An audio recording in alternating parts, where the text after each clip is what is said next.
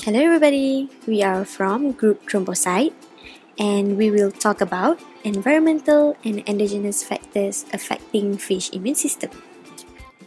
So let's talk about it. So this is Nawal. She is a healthy fish. Do you know what will happen to her when environmental factors and endogenous factors affect her immune system?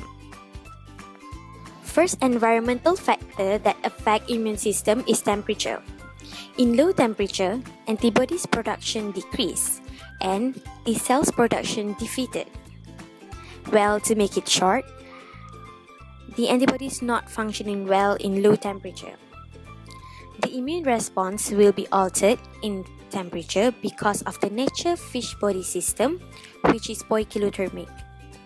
Poikilothermic is defined as body temperature change along with environmental temperature. Another factor is photoperiod. Usually, sunny season is longer. Therefore, Nawal is exposed longer to the sunlight. Her immune response peak or active in summer.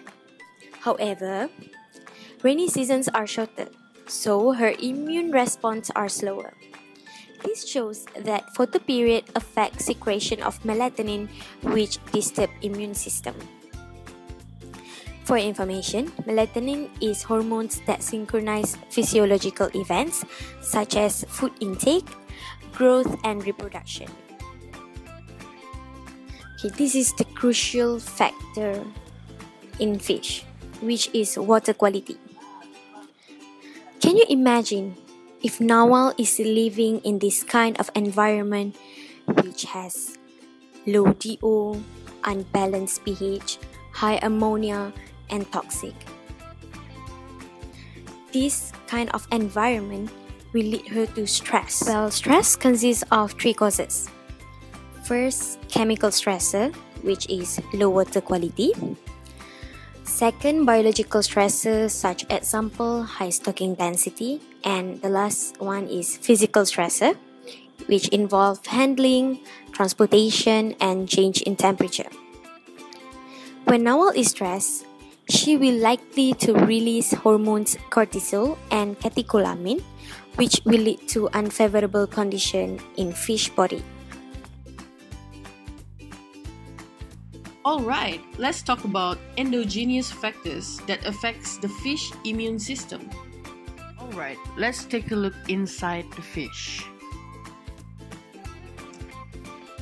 There are a few factors that can affect the fish health and one of them is the age of a fish.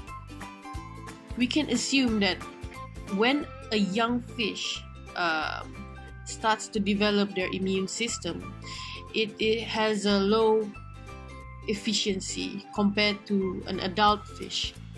And as they grow older, their immune system starts to be less efficient and they tend to get diseases more often. The innate immunity tends to develop earlier though, compared to the adaptive immunity. The next factor is the evolutionary lineage.